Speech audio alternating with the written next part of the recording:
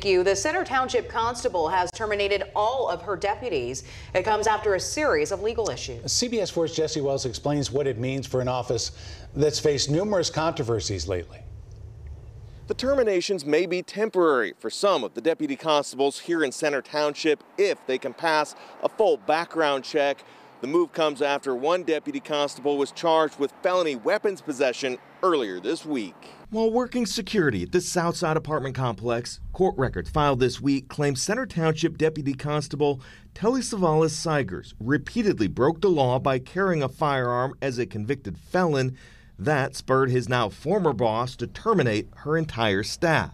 I'm the only one left standing. Denise Hatch says every deputy constable here in Center Township was terminated unless they can pass a national, state, and federal background check called the Triple I, the Interstate Identification Index. They will be able to come back and get their jobs back once they have passed the Triple I. This man is no danger to society.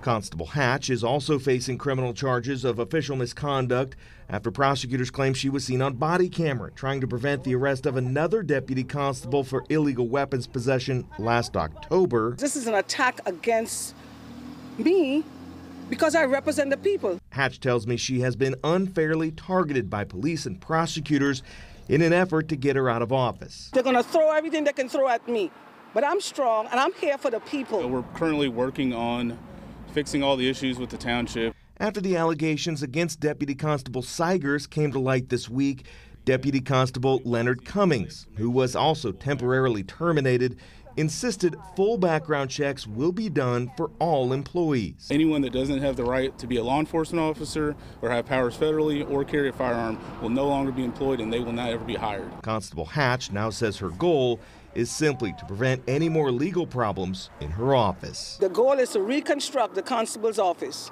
and we're going to come back better. Finally, Constable Hatch says her former deputies have until next week to complete their background checks and reapply for their positions.